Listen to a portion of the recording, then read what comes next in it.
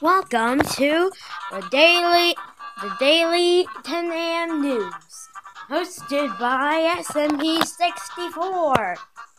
Hello, everybody. Welcome to the news.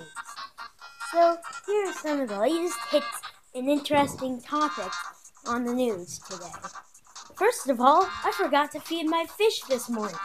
I hope they aren't dead for me recording this.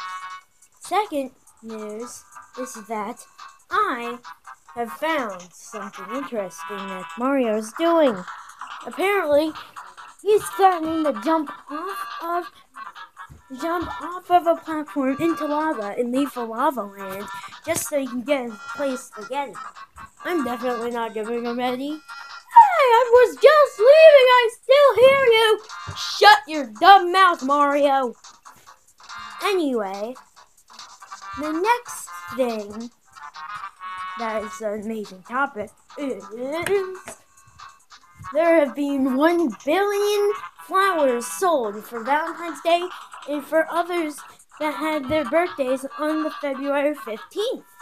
So, to say happy birthday and happy Valentine's Day to those.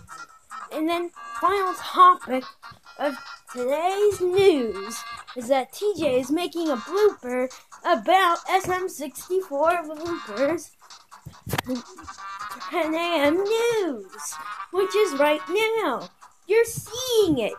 Now I am going to go. Goodbye.